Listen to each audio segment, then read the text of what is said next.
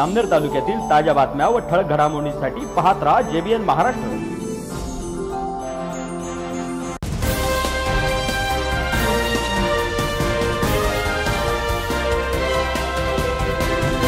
नमस्कार मी मिनल चौधरी. पाहूया काही ठळक वृत्त. आज पाच सप्टेंबर म्हणजे शिक्षक दिन. वाकोद येथील राणीदानजी जैन माध्यमिक व कांताबाई जैन कनिष्ठ महाविद्यालयात शिक्षक दिन साजरा करण्यात आला. देशेंदुर्णी एज्युकेशन कोऑप सोसायटी लिमिटेड शेंदुर्णीचे कार्याध्यक्ष सतीशराव काशीत व संचालिका उज्ज्वला काशीत यांच्या प्रमुख उपस्थितीत शिक्षक दिन साजरा करण्यात आला. याप्रसंगी सर्वपल्ली राधाकृष्णम संस्थेचे प्रेरणास्थान आचार्य बापूसाहेब गजाननराव गरुड स्वर्गवासी अण्णासोब भास्करराव गरुड यांच्या प्रतिमेस पुष्पहार अर्पण करून अभिवादन करण्यात आले. तसेच संस्थेच्या नवनिर्वाचित कार्याध्यक्ष सतीशराव काशीत व संचालिका उज्ज्वला काशीत आणि अमरीश गरुड यांचा सत्कार करण्यात आला. उपस्थित मान्यवरांनी शाळेतील कर्मचाऱ्यांशी हितगुज करत स्पर्धा परीक्षा केंद्राची पाहणी केली.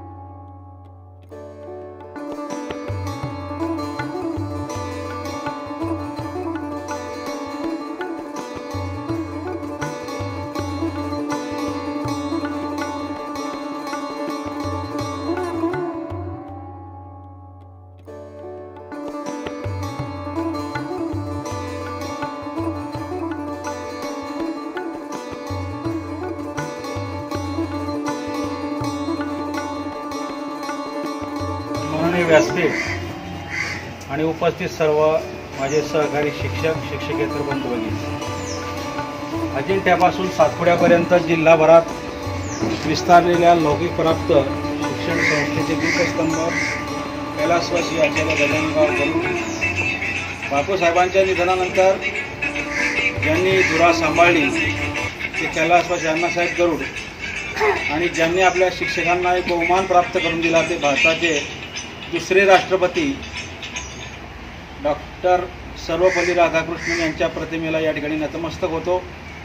फार वेळ न घेता कुठलीही औपचारिकता न ठेवता आज आपल्या विद्यालयामध्ये आपल्या संस्थेचे नवनियुक्त असे कार्याध्यक्ष आदरणीय राजेसाहेब सतीशरावजी काशीद या ठिकाणी उपस्थित झाले. त्यांचं मी शब्दसुमानांनी हार्दिक असं स्वागत करतो.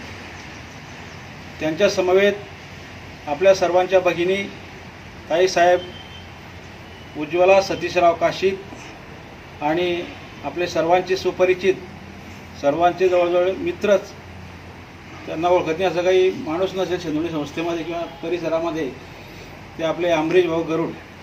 आपण सर्वजण अगदी सदिच्छा भेटीसाठी या ठिकाणी उपस्थित झालात.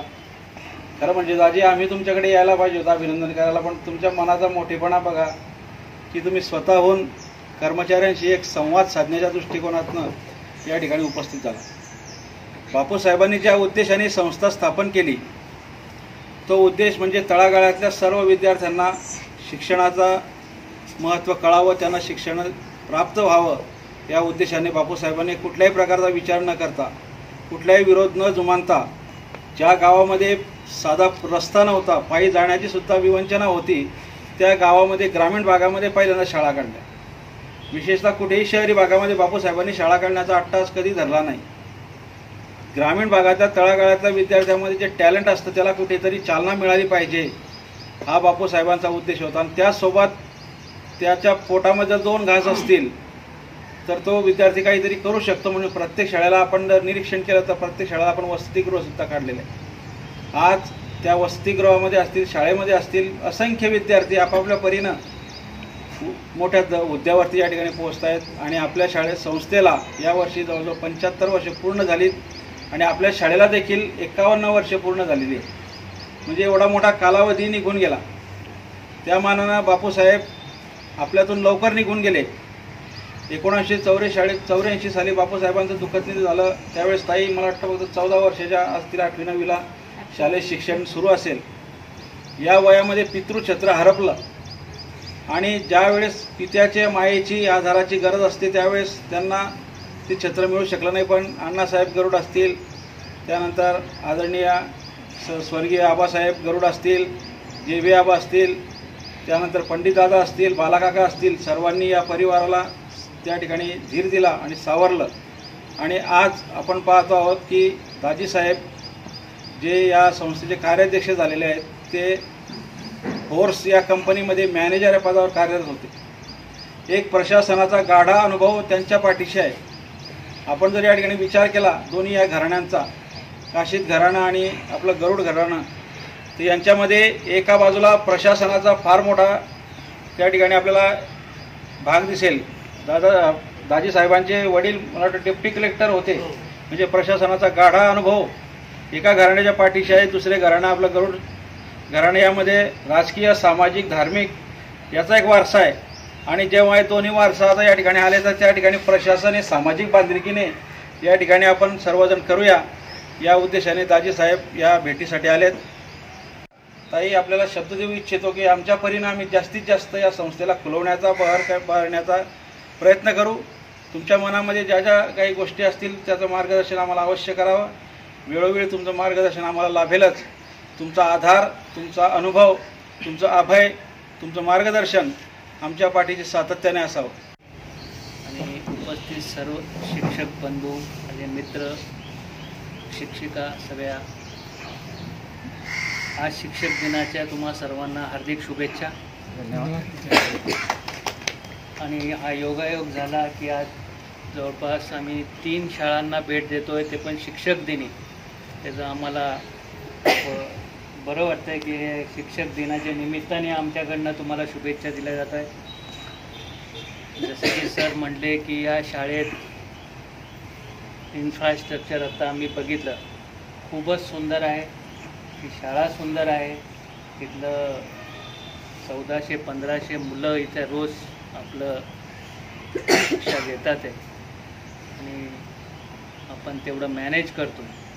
किती स स्टाफ आहे सर इथं? सत्तावीस. टीचिंग स्टाफ सत्तावीस आणि चार नॉन हां तरी सगळे लोक आपल्या मनाने आपल्या पूर्ण कॅपॅसिटीने पंधराशे मुलांना सत्तावीस मुलं सत्तावीस लोकांनी हँडल करायचं. कॅपॅसिटी काढली तर खूप कमी आहे. तशी. पंधराशे मुलांवर सत्तावीस. हां. तर तरी तुम्ही लोक तुम्ही तुमचा रिझल्ट तुमच्या शाळेचा रिझल्ट खूपच छान आहे आणि याच्यापुढं असाच राहील अशी मी अपेक्षा करतो. सर जसं म्हणाले की हा परिसर आपले श्री अ, जैन यांनी हा आपल्याकरता एक वास्तू उभी करून दिली. आणि त्या वास्तूचा आपण आज चीज करतो आहे आणि त्यांच्या जे काही त्यांचं जे संकल्प होतो ते असंच पुढं जाईल. आणि माझी असं दिसतं मला एक इच्छा आहे की त्या भंवरलाल जैन साहेबांचा इथे एक पुतळा तरी पाहिजे.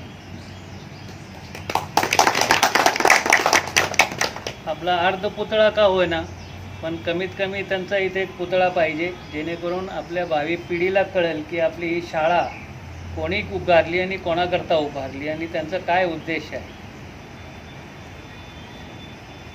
आणि हे आपण करू.